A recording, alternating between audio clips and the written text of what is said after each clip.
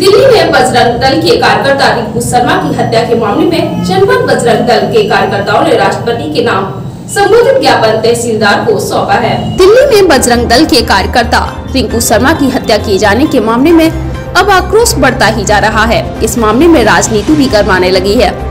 शनिवार को जनपद पहुँचे सूबे के उप मुख्यमंत्री ने भी ऐसे जघन्य अपराध की निंदा करते हुए कड़ी से कड़ी सजा दिलाए जाने की बात कही थी। वहीं दूसरी ओर, मैनपुरी के बजरंग दल के कार्यकर्ताओं में आक्रोश देखने को मिला है। यहाँ दर्जन भर से अधिक कार्यकर्ताओं ने सदर तहसील में पहुंचकर तहसीलदार को महामहिम राष्ट्रपति के नाम संबोधित ज्ञापन सौंपा है। उन्होंने दिल्ली में हुई घटना और पिछले समय में जो भी घटना हुई है, सब घटनाओं से संबंधित ज्ञापन दिया है।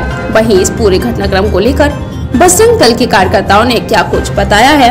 यह जरा आप भी सुनिए। जन चौहान है नगर ज़िले का सह संयोजक हूँ बजरंग दल से।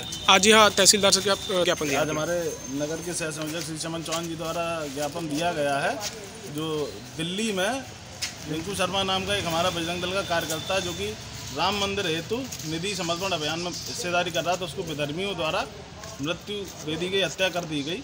इसके विरोध में हम लोगों ने जो अन्य भी घटनाएँ हुई हैं, उन सबको मिला के ज्ञापन तैयार करके महामहिम राष्ट्रपति जी को दिया है, तहसीलदार साहब द्वारा।